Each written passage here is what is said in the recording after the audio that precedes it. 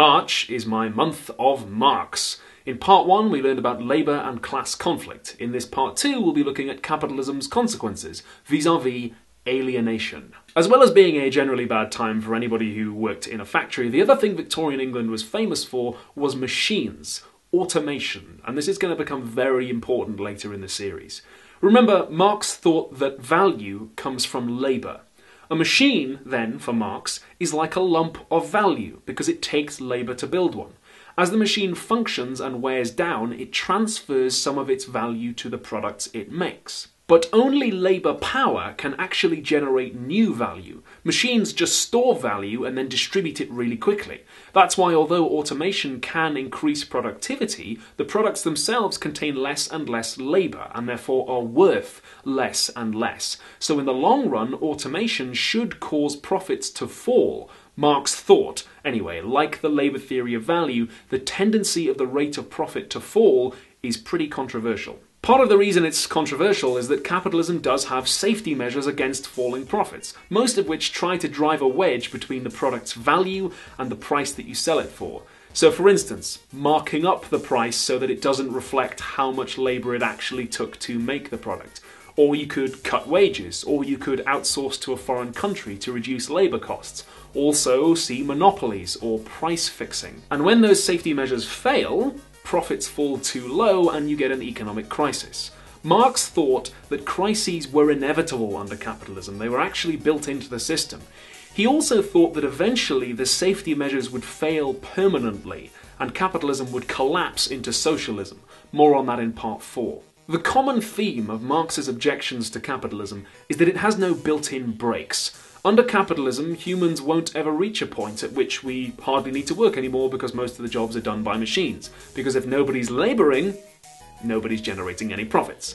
And if certain capitalist industries are destroying the environment or killing the workers, well, then as long as they're profitable, ain't no brakes on the capitalism train. The system would have to be changed from outside, like the Victorian factory conditions, which were improved, but not by anything within capitalism, by government legislation. That's why Marx put so much importance on a revolution of the working class. He thought it would be an outside shock to a system that couldn't change on its own. As we'll be seeing later in the series, he may have underestimated capitalism's ability to adapt. But whether profits really do fall, or whether the safety measures are enough to keep them bumped up, Marx thought that the Industrial Revolution should have meant people being set free, because you don't need to work as much anymore when you've got machines to do the jobs for you. But because those machines were being used to maximize profit rather than reduce labor, people were actually working harder than ever. Marx thought that under capitalism, the potential of automation gets wasted, and instead of liberation, we get alienation. Alienation refers both to a socio-economic slash political state of living, but also potentially a psychological state of unfulfillment. The Encyclopedia of Marxism calls it the process whereby people become foreign to the world they are living in. Remember last time the importance Marx placed on labour? Human labour is very important for him because we do it consciously. We plan it out beforehand, and the products we make are the reification of a state of mind. Human labour for Marx is an expression of what makes us special, that rational and creative impulse to take what nature gives us and build on it. Marx didn't think that there's such a thing as a fixed human nature, independent of our socio historical circumstances, but he did observe that the desire to labour cooperatively is common to all human societies. He called this our Gattungswesen, or species essence, and he thought that under capitalism that species essence gets corrupted and turned against us through the processes he called alienation. Marx identified four kinds of alienation that arise under capitalism. The first is the alienation of labourers from the products they make. This occurs when labourers make products that don't fully belong to them. So, for instance, you might work in a clothing factory but be unable to afford to wear any of the nice designer clothing that you're making.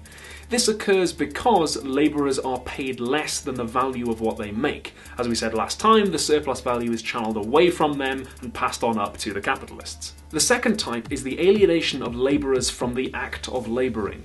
This occurs when labourers are coerced or forced or not working on their own terms. They're not working because working is the expression of some need, but because it's a means to getting what they need through attaining wages. It also occurs when they can't decide how the product is sold or applied. So, for instance, if you have to work a job that you don't like, making money for somebody else, or starve, Marx thought what you're experiencing there is alienation from the act of labouring. The third is alienation of labourers from other labourers. Marx thought that under capitalism, labourers would be encouraged to seek what benefits them individually, wages, rather than what benefits them mutually, which might be much larger social change. Hence the famous slogan, Workers of the World Unite.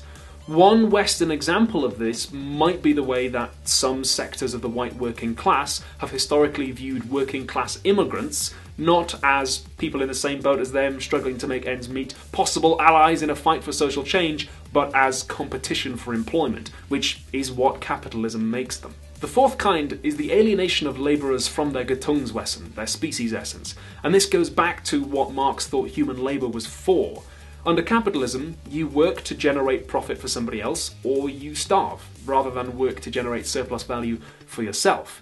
You do discrete, separate jobs, rather than work on what you want to, because that's the way profits are more easily generated. You do this for hours not set by you and for most of the time that makes up your life, rather than direct your life the way you want it to go.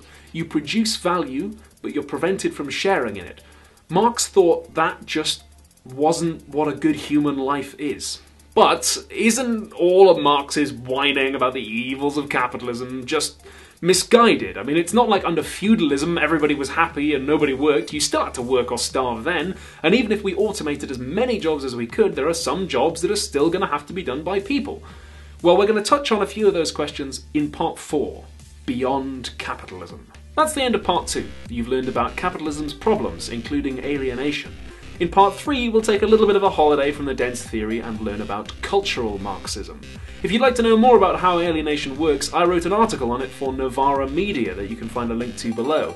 It applies Marxist alienation theory to the business of being a YouTuber and the economic struggles that you might have seen some YouTubers going through recently. Speaking of economic struggles, I have a Patreon page. If you would like to support me giving away free education on the internet, kind of education that you might normally have to pay for at a university, then please do feel free to chuck a few dollars my way. I'd really appreciate it.